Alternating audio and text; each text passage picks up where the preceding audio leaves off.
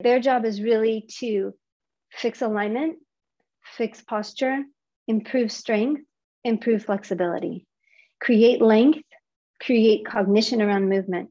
Like that's Pilates in a nutshell, right?